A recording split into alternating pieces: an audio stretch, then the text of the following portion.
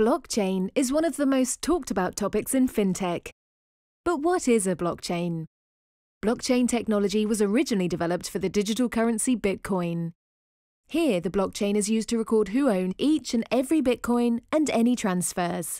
But we've realized that blockchains can be used for so much more. So, how does it work?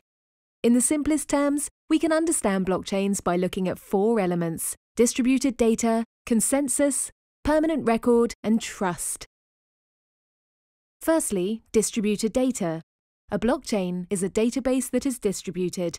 This means there is no central place to store the data. Instead, all participants of the blockchain have their own copy of the data.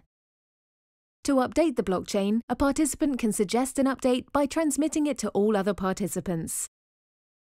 Then there is consensus. Updates are accepted to the blockchain by one or all participants independently validating that the update meets some pre-agreed rules. That way, no one party has control, and there is consensus on the correct version of the data. The data is protected by cryptography, which ensures that the data in the blockchain cannot be edited or deleted. In this way, blockchains create permanent records which cannot be changed. The only way to amend the data is to create a new data entry via the consensus method, thus creating trust in the data. The best use cases for blockchain are where you need to share data between lots of different parties, and where you need to trust that one person cannot change the data unilaterally. Not all blockchains work exactly the same way. Different blockchains can have different rules. For who can access the blockchain? Everyone or just a single group? The type of people that can validate updates, and how to choose the validator for each transaction.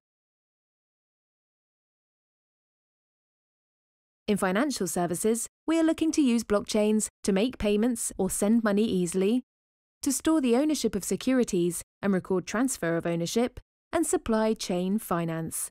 Elsewhere, blockchains are already being used for record keeping for things like provenance of assets, such as diamonds, and land registry.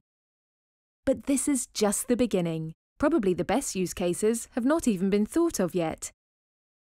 Innovate Finance is an independent membership association that represents the UK's global fintech community, with over 230 members globally.